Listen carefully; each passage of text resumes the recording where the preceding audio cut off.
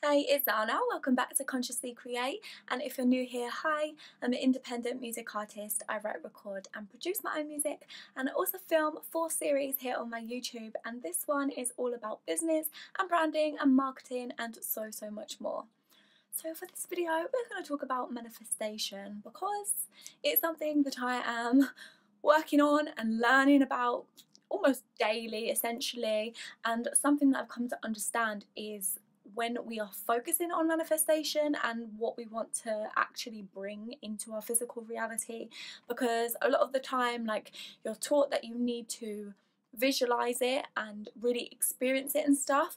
But for me, I've noticed the difference between when I'm visualizing what I want and really putting myself in that situation as if it's happening in real time and really allowing my emotions to experience it like it's happening right now and it like makes me so excited and whatever kind of like joyful emotion it is that I'm going to feel in that moment of it being real versus visualizing something and still being consciously in the present and feeling like it's never going to happen or feeling desperate for it to happen and like you almost kind of resist it and cling to it at the same time if that makes any sense where you're like resisting the possibility of it happening, but then clinging to the longing and wanting of it to happen, but feeling like it's not going to. And it kind of puts you in this like lack mentality. So I think it's so important and key to pay attention to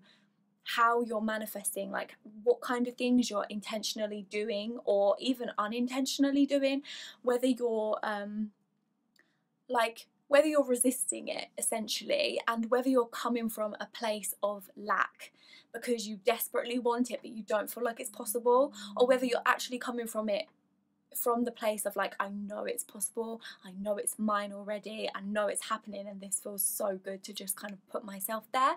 You know, I think there's a fine line between the two and we need to have some awareness of them because there has been many times when I've gone to visualize something that I really wanted and then I realized later on that I was doing it out of fear.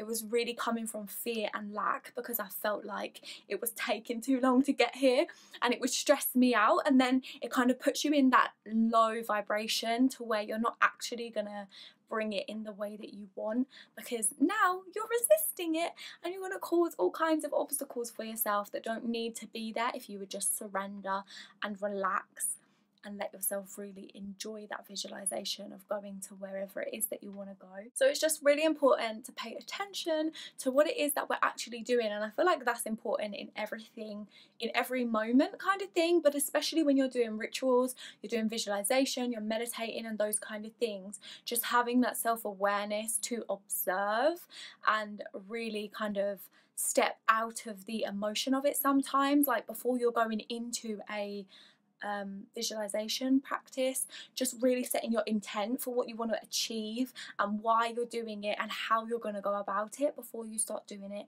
so that you don't start lowering your vibration and then kind of letting that spiral and getting stuck in the fear and then doubting that anything's possible and stuff, you know. It's essentially like planting a seed because you want to literally go in there and visualize it, which is like planting it, and you're really experiencing it, you're feeling the vibration of it, like it almost feels it's literally happening right now.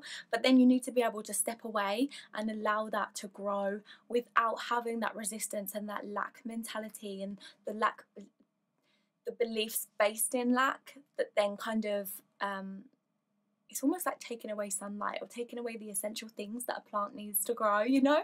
Like those thoughts, those negative thoughts and belief system that people have is like removing the essential things that plants need. So it's just about being consciously aware because obviously we can't stop thoughts from coming in. So negative thoughts can come in and that's not going to block your manifestation. But it's when you attach to them, you allow them to affect your emotions. And then when they affect your emotions, you then allow yourself to stay stuck in that emotion. And then you stay stuck in that emotion for a long period of time.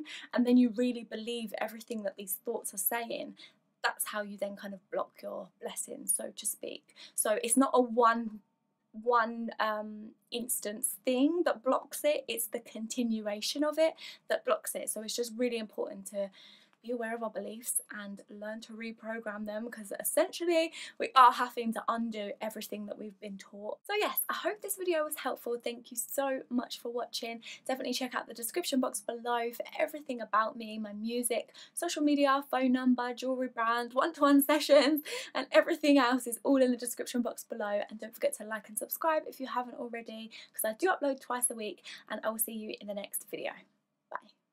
How did we get to this feeling I'm feeling?